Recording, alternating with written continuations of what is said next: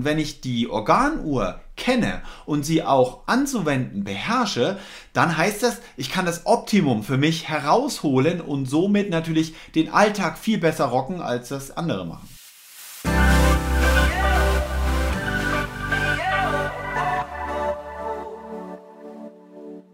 Herzlich willkommen zur Gesundheit mit Florian Sauer und Andreas Paffer, deinem Podcast für ein gesünderes, vitaleres und glücklicheres Leben. Folge 9.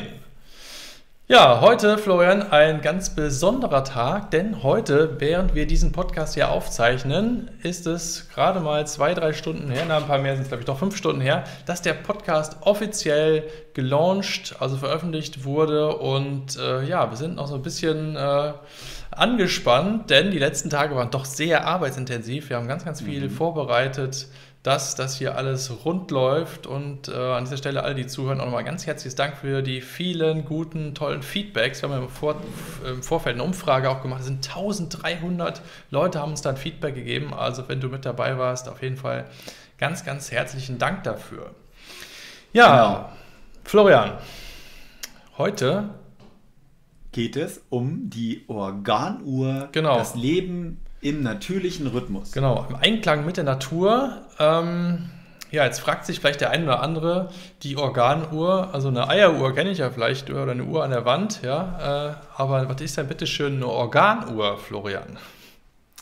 Also Andreas, es gibt ganz wichtige Grundregeln, wenn ein Mensch anfängt, sich wirklich mit Gesundheit äh, zu beschäftigen, auseinanderzusetzen. Da geht es nicht darum, vegetarisch, vegan, alles Esser Instinkto zu sein und so weiter so, oder gleich Bio zu kaufen, sondern mhm. es geht erstmal darum zu schauen, wie funktioniert mein Körper denn? Denn es gibt ja die vier Jahreszeiten, Sommer, Frühling, Herbst und Winter, wie man kennt. Es gibt Ebbe und Flut, es gibt Tag und Nacht, positive, negative Elektronen. Und die Natur hat sich natürlich für unseren Körper auch hier sowas wie ein Grundgesetz ausgedacht. Und, und wenn du dich daran hältst, dann hast du gute Karten. Ja, wenn du dich daran hältst, ja. Und das wird uns ja heute schwierig gemacht, denn im Gegensatz zu vor, sag ich mal, 200 Jahren haben wir ständig Licht. Ja, wir können äh, die Nacht mhm. zum Tag machen, im wahrsten Sinne des Wortes. Wir werden ständig äh, beeinflusst durch verschiedenste Medien und äh, Arbeitszeiten. Wir können um die Welt reisen, die Zeitzonen verlassen. Es gibt so viele Sachen, die uns aus dem Rhythmus bringen können. Ähm, mhm. Wie sähe es denn aus oder was ist denn, äh, wofür ist es denn wichtig, die Gesetze der Natur zu wissen? Äh, was ist der Vorteil für mich, wenn ich mich danach richte? Naja, Andreas, weißt du, wir merken ja immer, wenn wir zum Beispiel äh, uns einen, äh, Medi einen Technikprofi ranholen, dann merken wir, der ist in diesem Bereich besonders begabt. Dann haben wir mal einen Küchenchef bei uns, äh, dann merken wir, boah, der kann toll kochen. Dann habe ich einen Schreinermeister, sage ich mir, oh, kann der tolle Holzmöbel machen. Und das heißt also, wenn ich mich mit etwas auskenne, dann werde ich Herr der Lage, ich werde zum Player, ich kann mir damit alles erlauben. Und wenn ich die Organuhr kenne und sie auch anzuwenden beherrsche, dann heißt das, ich kann das Optimum für mich herausholen und somit natürlich den Alltag viel besser rocken, als das andere machen. Ja, okay. Das heißt, ähm, das ist eigentlich ein Grundlagenwissen, was jeder wissen sollte. Denn wenn ich mich also darauf einlasse und so ein bisschen weiß, wann ich was machen sollte oder wann ich was lieber nicht machen sollte, dann habe ich, mhm. wenn ich das richtig verstehe, am Ende mehr Energie und kann einfach meinen Körper auch besser verstehen. Ja? Naja, das kommt drauf an. Es ist ja so, dass wenn ich die Organuhr richtig beherrsche und weiß, für was sie da ist, dann weiß ich ja auch, dass sie zum Beispiel für die Stoffwechselabläufe des Alltags tagsüber und nachts über regulierend ist. Also, sie ist auch für die Entgiftung da, für den Energiehaushalt ist sie da, mhm. für die Verdauungsabläufe im Alltag, aber auch für unsere Stimmungen.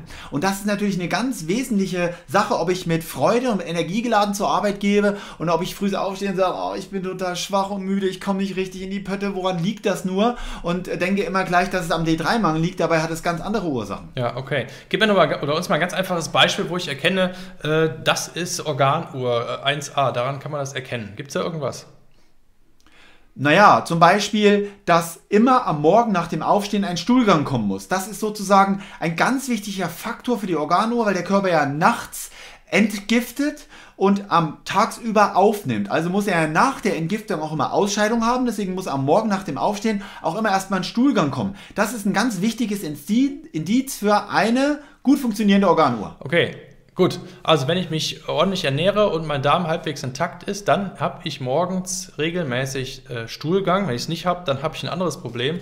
Aber wenn ich es dann habe, dann ist das ein Zeichen dafür, okay, das kommt immer zur gleichen Zeit und dann irgendwann ist es ja, dass ich dann nochmal habe und dann ist es meistens irgendwie später Nachmittag. Und genau, also heißt, wenn da Fehler entstehen, Andreas, dann heißt das Problem schleift sich in den Tag mit hinein und baut sich mit anderen Problemen auf. Und das in Relation über Tage, über Wochen sorgt dafür, dass die Menschen schwächer, kränker, depressiver, manischer und trauriger werden. Und das wollen wir nicht. Okay, also es macht Sinn, halt nur fest, dass ich mich damit ein bisschen auskenne, weil es einfach für mich ja, äh, Vorteile bringt äh, auf verschiedenen Ebenen. Äh, emotional, mehr Energie, Ruhezeiten kann ich besser ausnutzen und solche Dinge, ja. Ähm, das wichtigste Konzept für mich, Andreas, wäre hier, jung zu bleiben. Also das Geheimnis von Jugendlichkeit liest man aus der Organuhr. Mhm. Wer die Regeln richtig beherrscht, hat auch ins hohe Alter eine frische, klare, leuchtende Ausstrahlung. Na, das klingt doch mal verlockend. Also, dann äh, lass doch mal ähm, die Organuhr durchgehen. Und äh, wir haben im Vorfeld schon mal geguckt. Also, wenn du die Möglichkeit hast, mitzugucken, dann kannst du einfach mal nach Google mhm. gehen und dort ja. mal suchen nach, da gibt es einfach mal ein TCM für traditionelle chinesische Medizin und dann das mhm. Stichwort Organuhr. Und dann kannst du noch Generation Pille. Das ist eine Seite, da dreht sich alles um die Pille, Pille und da gibt es eine schöne Organuhr. Es gibt auch ganz vielen anderen Seiten auch die Organuhr. Das war aber eine, die schön groß ist. Und deshalb haben wir die jetzt mal ausgesucht. Das verlinken wir auch in den Show Notes. Auf grünundgesund.de gibt es ja zu jedem Podcast immer wieder auch die Texte. Und wenn du die Folge 9 suchst, dann gibt es da auch die Links zum draufklicken. Okay, ja. also, dann fangen wir doch mal an. Wo fangen wir mit dieser Organuhr denn an? Denn sie ist ja folglich äh, 24 Stunden äh, äh, lang. Mhm. Wir gehen jetzt mal also so in vier Blöcken durch. Mal, ja? Ich würde vorerst erstmal zur Organo noch was sagen. Andreas. Ja, bitte. Das heißt, tagsüber, sagen wir mal von frühs um 5 an bis abends um 19 Uhr, haben wir den Bereich der Extrovertiertheit. Das ist der Tag. Das heißt Aufnahme. Da nehmen wir Dinge von der äußeren Welt, wir sind ja wach, nach innen auf. Mhm.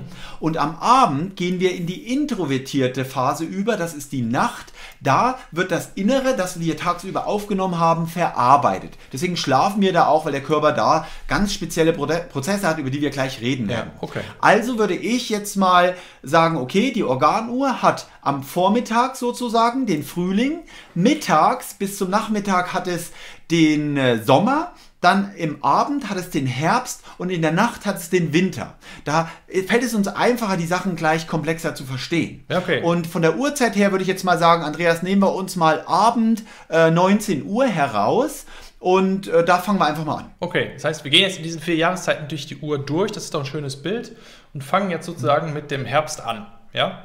Genau. Und Andreas, in meinen Kursen, ne, du warst ja selber schon mal bei uns in der ja. Leberreinigung in Haselbach, äh, da, da fallen immer allen die Kinnlade runter, weil ich sage immer, ab 19 Uhr sollte man was nicht mehr machen?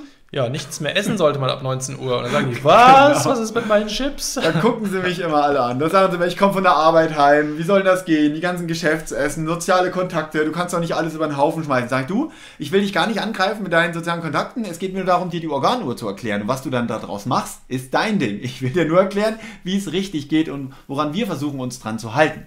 Denn um 19 Uhr, Andreas, sind wir, wenn wir auch mal auf die Organuhr gucken, im Perikard. Das heißt, ähm, Perikard, das sind äh, die äh, Ge Gewebshäute der Herz, der Herzhülle sozusagen und die tauschen hier ihre Flüssigkeiten aus. Man sieht also, dass der Herzrhythmus hier in einen Umstellungsprozess geht, nämlich der Körper bereitet sich sozusagen auf die Entgiftung vor in der Nacht. Mhm. Da müssen Gewebsflüssigkeiten ausgetauscht werden. Deswegen spricht man hier von der Perikardzeit, die Wandlungsphase, auch wo der Magen langsam runterfährt. Und deswegen sollte man in dieser Zeit auch nicht mehr so viel essen, weil die Verdauungssäfte sich in der Nacht dann runterfahren, weil wir ja in den Schlaf hineingehen. Und da sollte natürlich der Magen dann leer sein, weil der Magen hat zu dieser Zeit die schlechteste Energie und deswegen ist es auch nicht gut zu essen, weil sonst unverdaute Nahrung über Nacht in den Darm kommt und das kommt kommt zur Gärfäulnis. Genau. Das sorgt dafür, dass die Leute, die früh aufstehen müssen, Blähungen haben, viel pupsen müssen, stinken und den ganzen Tag über auch rückvergiftet sind. Auch das wollen wir nicht. Ja, deshalb sollte und man ja auch Andreas, hungrig ins Bett gehen. Ne? Das erklärt das auch. Richtig. Und klar, was ich abends esse, bleibt den ganzen Nacht drüber drin. Es gibt Dinge, die gehen schnell durch normalerweise, aber wenn ich mir abends halt Obst reinschiebe äh, und dann vielleicht genau. vorher noch Käse oder Fleisch oder sonst irgendwelche Dinge dann in Verbindung bringe, dann gibt es natürlich über Nacht die schönste Gärung im Darm. Äh, Richtig. nicht so gut. Und bei, bei Kochkost hat man das Problem nicht. Also wenn ich sehr spät nach 19 Uhr essen würde, dann würde ich mehr Kochkost essen. Warum? Durch das Kochen ist die Nahrung schon denaturiert, sie ist schon tot. Es kann nicht mehr so schnell zur Vergärung kommen. Und wenn, die, wenn der Kot nach 8 Stunden wieder ausgeschieden wird, dann kommt es auch nicht zur Fäulnis. Bei Rohkost ist es schwieriger. Der Salat, der innerhalb von 40 Minuten im Körper anfängt zu gären, sorgt natürlich dann für Blähungen. Und das ist das Problem, was die Rohköstler immer haben, wenn die sehr spät nach 19 Uhr noch grünes Blattgemüse in Mengen zu sich nehmen. Ja. Okay, gut. Ja? Jetzt gehen wir so, So. langsam weiter in die Nacht rein, in den Winter. Genau. Dieser Bereich Perikard ist 19 bis 21 Uhr. Also man spricht ja von einem toleranten 3-Stunden-Part. Drei Stunden? Genau. Okay. Ja, ja, was, was, was, meinst du, warum drei Stunden? Ich meine, es, warum ist bei dem einen 19 Uhr, bei den anderen 20 Uhr, bei dem anderen 21 Du Uhr? meinst diese Toleranz jetzt da an der Stelle? Ja, Richtig. Keine Ahnung, weiß ich nicht. Also ich meine, jeder tickt ja auch ein bisschen anders. Es ist ja wahrscheinlich auch nicht so 1 zu 100% getaktet. Also Genau, jeder Mensch ist ja- anders. ja es gibt auch die. Nacht. Genau, und es gibt auch die Nachteulen, die frühs länger schlafen, aber abends länger wach sind. Die Schichtarbeiter gibt es zum Beispiel. Es gibt die Zeitverschiebungen Sommer-Winterzeit. Deswegen ist es ein Richtwert, man sagt zwischen drei Stunden. Und jeder zeichnet die Organuhr für sich nochmal, um genau zu wissen, wie sein Körper funktioniert. ja, macht Sinn, ja. Wir kommen, genau, und ab 21 Uhr, Andreas, wenn dieser Perikard abgeschlossen ist, kommen wir in den dreifachen Erwärmer.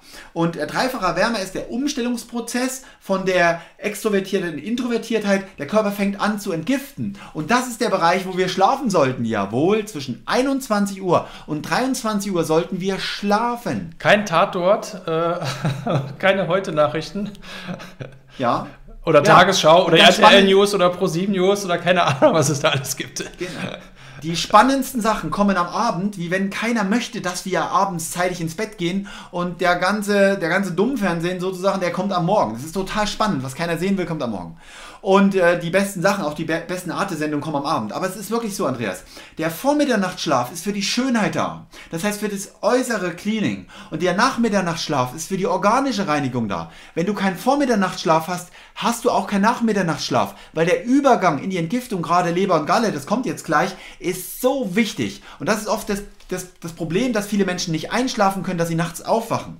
Und diese, dieser dreifache Wärmer, dieser Umstellungsprozess in diese Tiefschlafphase hinein, der ist so gegen 24 Uhr, 1 Uhr nachts abgeschlossen. Das ist die Zeit der Gallenblase. Okay, und jetzt, Und jetzt wird danach- für mich auch klar, wo du sagst, mit Entgiftung und so weiter, das nicht funktioniert, warum das auch für die Schönheit wichtig ist. Wenn ich also regelmäßig vor Mitternacht ins Bett gehe, ist das sozusagen mein Schönheitsschlaf, weil mein Körper so funktioniert, wie er eigentlich sollte und nicht die Gifte irgendwohin ver- verteilt, sondern es wirklich zur Ausscheidung bringen kann. Genau, und dieser Umstellungsprozess ist ja die Gallenzeit. Also da ist die Gallenblase sozusagen aktiv und die Gallenblase steht für Abwehr, sie steht für Kraft, was ist möglich, was kann ich heute alles verdauen, was muss ich heute Nacht alles abwickeln, was habe ich heute alles geleistet. Und das ist so eine Geschichte zwischen Kraft und Nervensystem. Der Körper geht in den Parasympathikus, er geht in die Entspannung, in die tiefe, unterbewusste Phase hinein, um überhaupt entgiften zu können. Anders ist diese Darmentgiftung gar nicht möglich. Okay, ja, jetzt geht's weiter. Weiter geht's. Genau, wir kommen in die nächste Phase. Das ist dann der Leberstoffwechsel, der zwischen 0, also zwischen 1 Uhr nachts und 3 Uhr äh, stattfindet. Und ganz spannend, Andreas, das war die Zeit, wo ich früher in meiner größten Problematik meiner ganzen Erkrankung immer aufgewacht Ja, bin. es gibt viele Leute, die nachts in dieser Zeit Nacht wach werden und sich rumwälzen und nicht einschlafen können. Ja.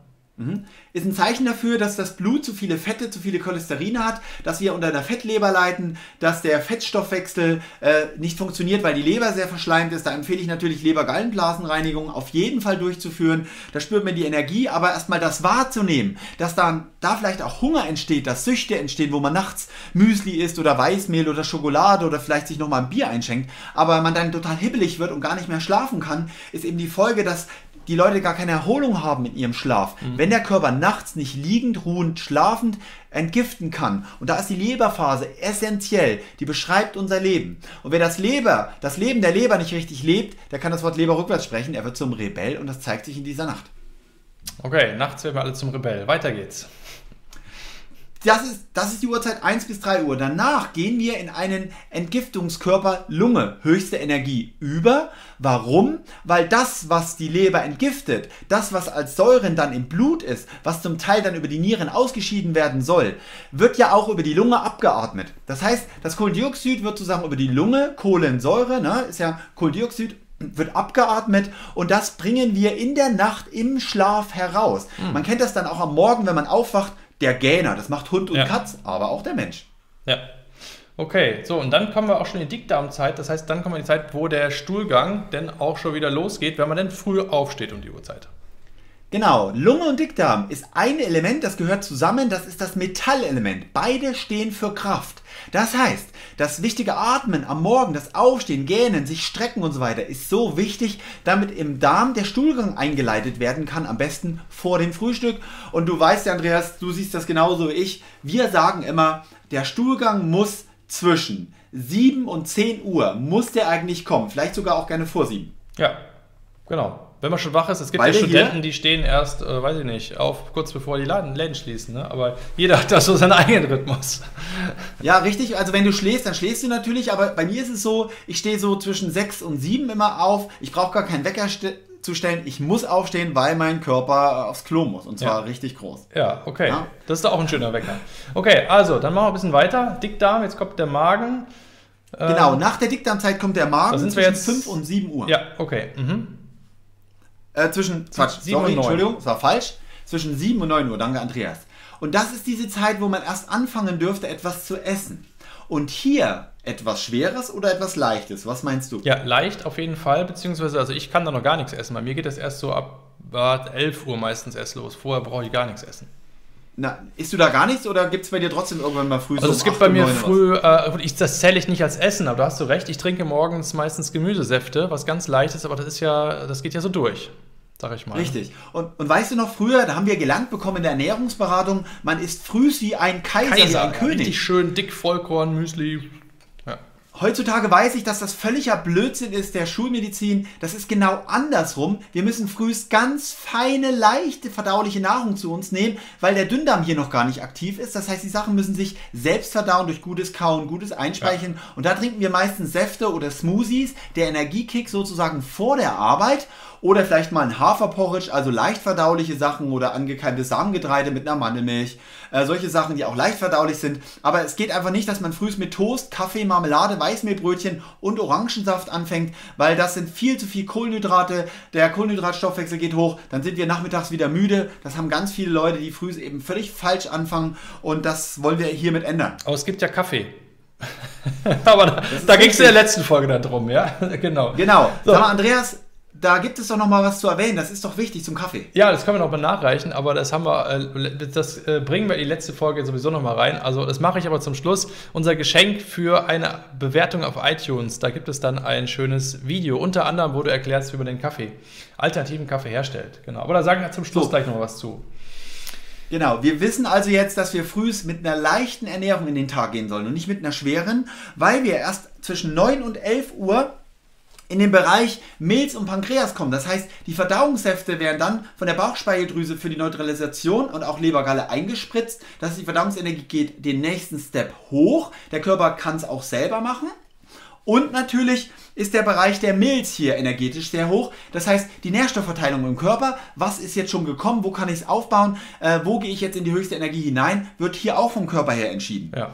Und danach, Dann kommen wir in den Sommer so langsam 11 rein. Uhr, richtig, nach 11 Uhr ist der Frühling beendet, dann gehen wir in den Sommer hinein und dann haben wir die herzenergetisch höchste Phase. Das heißt, jetzt kommen wir in den Herz-Kreislauf-Verdauungsstoffwechsel, die Nährstoffe gehen ins Blut über, werden dort ins Nervensystem gebracht und von dort aus im Körper verteilt. Da kann ich nicht mich frühst nur mit äh, Schrott förmlich hinrichten. Da müssen wirklich energetische, mineralische Hochgelüste in den Körper gekommen sein, damit das möglich wird.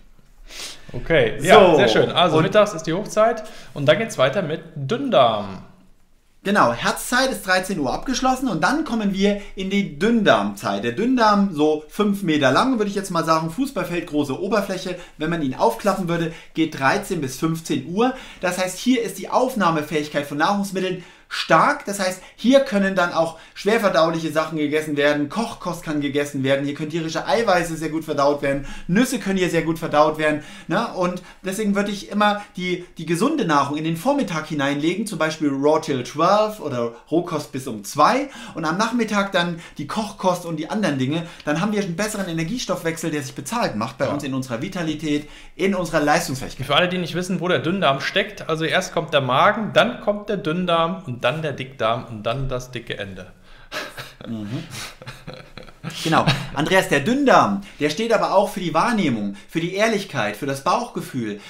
Lebe ich den Tag richtig oder lebe ich den Tag falsch? Da zeigt sich auch schon der Stress, wenn man früh falsch angefangen hat, ja? Oder man äh, den Job nicht gerne hat. Da denkt man drüber nach und sagt, ich mache den Job doch nur wegen dem Geld, das ist doch nicht mein Ding.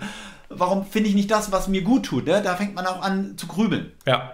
Okay, lass uns weitermachen. Jetzt geht es weiter mit genau. der Blase.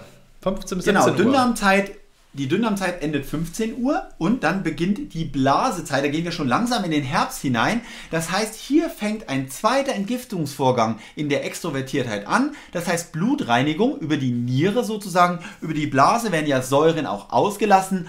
Und das könnte natürlich heißen, dass wenn du ein sehr gesunder Mensch bist, Andreas, was kann da passieren? Ja, nochmal aufs Klo gehen. Ja, es kann sein, dass du da also groß. in der Zeit zwischen Genau, zwischen 15 und 19 Uhr ein zweites Mal Stuhlgang hast. Warum? Weil zwischen 17 und 19 Uhr ist ja auch die Nierenzeit. Also Blase geht über in Nierezeit. Entgiftungsstoffwechsel zweite Runde. Von dem Vormittag gegessenen acht Stunden später, kann man mal genau ausrechnen, könnte ein zweiter Ausscheidungszyklus stattfinden. Das wäre natürlich toll. Ich habe ungefähr zwei bis dreimal Stuhlgang pro Tag. Das ist wirklich schon fast zu gut. Aber mit zweimal habe ich immer. Mhm. Okay, ja, also bei mir so. ist auch so meistens, äh, also ein, zweimal, ich zähle auch gar nicht immer so mit, aber ein bis zweimal ist schon, schon bei mir die Regel, genau. Genau. So, die Niere ist 19 Hätte ich nicht gedacht, dass ich da mal drüber spreche im Podcast, Florian. Ja, wir sind doch hier unter uns. Wir sind ja unter uns. Alle haben uns im Ohr, wir sind ganz persönlich, wir sind alle nur Menschen und da können wir ruhig mal Tacheles reden. Ja. Ich glaube, ein Arzt würde mir sowas nie erzählen. Ja, ich glaube auch, ja. Ja, und in der Schule kommt leider auch nicht dran. Nee, obwohl das ja so wichtig ist, ja. Wir lernen hier Dinge über uns und äh, ja. Das gehört in die erste Klasse. Eigentlich schon, ne? Genau. Und damit ja. sind wir jetzt im Prinzip so. auch schon einmal rum, ne? Richtig, das heißt, und dann geht der Körper wieder in die Introvertiertheit. Das heißt, wir gehen von der Arbeit nach Hause oder sind schon zu Hause. Wir haben Freizeit, wir haben Ausgleich, wir fahren den Tag runter, wir besinnen uns und kommen wieder in die Entgiftung hinein. Und diese Abläufe sind immer so. Ja. Die sind immer so. Und wenn ich die kenne, dann weiß ich, dann weiß ich, dass ich höchstens zwei bis dreimal pro Tag esse, dass ich ab 19 Uhr nichts mehr esse, dadurch gut entgiften kann, am Morgen erst ab 9, 10 Uhr wirklich mit fester Nahrung erst anfange. Dann hat der Körper die größte Zeit zum Entgiften, die Nahrungsaufnahme ist die kürzeste Zeit. Wir haben dadurch einen viel, viel besseren Energiestoffwechsel, wir sind leistungsfähiger, da können wir auch gerne mehr Geld verdienen, weil wir kreativer sind, uns mehr einfällt. Und da muss ich noch nicht gleich der gesündeste Ernährungsköstler sein, Andreas. Hier geht es erstmal nur um das Verständnis der energetischen Artefakte, wie sich das die Hände reicht. Ja, okay. Ja, also fasse ich zusammen. Wir haben also heute eine ganze Menge gelernt über uns selbst, über das Zusammenspiel unserer Organe, dass es da Naturgesetze gibt und dass es wichtig ist, die zu kennen. Denn wenn wir diese Regeln kennen, dann können wir für uns selbst ein Optimum Energie, Wohlbefinden und Leichtigkeit rausholen. Wir können dafür sorgen, dass unser Körper jung bleibt. Und äh, ja, es macht Sinn, sich mit diesem Gesundheitskonzept für den Alltag auseinanderzusetzen. Und wenn du mehr darüber erfahren möchtest, da gibt es auch eine Buchempfehlung. Und zwar heißt das Buch die Organuhr und ist im GU-Verlag erschienen von äh, mhm. Autorin Dagmar Hemm. Das Buch, mhm. das verwendest du auch, ne? Ja, das haben wir in unserem Seminar in Haselbach, genau. Mhm, genau, also das wäre eine Empfehlung und das verlinken wir auch in den Show Notes, also der Seite zu diesem Podcast, wo du auch das äh, Beispiel für die Organuhr findest, wenn du es mal anschauen möchtest. Aber wie gesagt, da gibt es ganz viele für im Netz kostenfrei zum Angucken. Ja, okay. Genau. Andreas, kennst du diese Regel nicht, passiert folgendes. Du isst zum Beispiel abends zu spät, du kommst nicht richtig in den Schlaf, du bist am Morgen voll rückvergiftet, nicht ausgeschlafen, du hast auch dann keinen schönen Blick drauf, du bist schlecht gelaunt, diese schlechte Laune zieht sich in den Tag hinein, deine Mitarbeiter und alle, die dir alles reflektieren, sehen, du bist schlecht gelaunt, also begegnen sie dir auch schlecht gelaunt. Diese schlecht gelaunte Phase zieht sich in den Abend hinein, wir vergiften immer mehr, der Körper lagert immer mehr Schlacken ein und das nimmt dann unseren Alterungsprozess bringt den in Gange und wir sind jung, sehen aber eigentlich völlig alt aus. Das Strahlen in den Augen ist weg, der Zungenbelag, der Mundgeruch, die Körpergerüche und das zeigt sich dann in der Antlitzdiagnostik im Gesicht. Das heißt, man kann dann im Verlauf der Fehler die Krankheit im Gesicht förmlich erkennen. Ja, und das ist ein gutes Stichwort. Da wollen wir im nächsten Podcast mal drüber sprechen. Ein hochspannendes ja, super, Thema. das machen wir. Ja. ja. Und äh, was für mich wirklich die große Erkenntnis ist aus dieser Thematik, ist, dass es sich lohnt, früh ins Bett zu gehen, dass es lohnt, sich lohnt, auch hungrig ins Bett zu gehen, denn mhm. der neue Tag fängt am Tag davor an. Ja? Und wenn man das versteht, ja, dann äh, überlegt man sich wirklich zweimal, ob man sich abends bis Ultimo noch irgendwelche Krimis reinpfeift oder stundenlang vor Tablet, äh, Handy und Co. verbringt oder ob man sagt, nein, ich gehe jetzt in die, ins Innere, denn die Wahrheit liegt im Innen und nicht im Außen. Viele suchen immer die Erkenntnis im Außen oder lassen sich gerne mhm. ablenken, aber eigentlich ist die, die, die, die Wahrheit im Innen. Das heißt, es macht viel mehr Sinn, wirklich mal die Augen zu schließen, mal nach innen reinzugehen, mal zu hören und die Verbindung zu sich selbst zu, herzustellen, als die ganze Zeit immer sich äh, nach außen zu orientieren und ablenken zu lassen von den wesentlichen Dingen.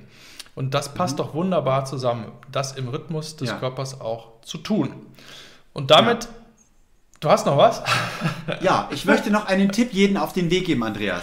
Ähm, wer mal erfahren möchte, wie seine Organo funktioniert und möchte sagen, mit was kann ich denn starten, da würde ich empfehlen, ab 19 Uhr mal nicht zu essen. Warum? Wir nennen das intermittierendes Fasten. Dann fängst du an, am Morgen ganz feinstofflich aufzuwachen und dann kriegst du auch mit, wann braucht dein Körper erstmal Nahrung und wenn ja, welche Nahrung, welche Nahrung nimmt dir Energie, welche Nahrung gibt dir Energie. Und mit, dieser, mit diesem Spürsinn gehst du in den Tag hinein. Dadurch bewertest du deine Abläufe im Alltag ganz anders und völlig neu und bekommst ein inneres Bewusstsein. Und das trägt dich natürlich weiter in diesen vitalen Wegen im Leben. Ja, und so hast du ein intermittierendes Fasten, was du im Prinzip jeden Tag machen kannst. Und das ist doch wirklich spannend. Richtig. Ja, genau. genau. Okay, prima. Also es war eine Podcast-Folge voller äh, Informationen wieder, ganz viele äh, Möglichkeiten, einfach was Neues mal ausprobieren, seinen Gesundheitshorizont zu erweitern, diesmal mit der Organuhr. Ich freue mich schon auf die nächste Folge, wenn wir uns mit mhm. dem Gesicht auseinandersetzen werden.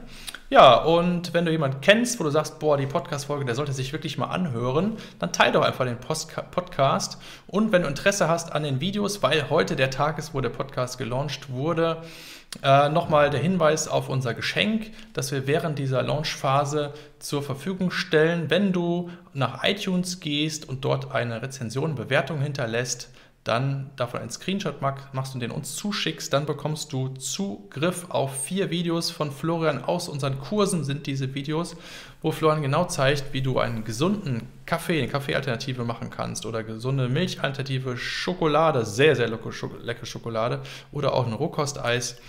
Dann äh, klickst du einfach auf den Link in den Show Notes, da gibt es auch eine Anleitung, wie du das genau machst. Und äh, dann wünschen wir sind wir jetzt durch, würde ich sagen, ja, für heute bei der Jawohl. Gesundzeit. Wir freuen uns, wenn du bei der nächsten Folge wieder mit dabei bist und sagen Ciao, dein Andreas Paffrath. Florian Sauer. Oder andersrum, ja. Genau, bis ganz bald, ja. Macht's gut, bis dann. Ciao, wir hören uns. Tschüss.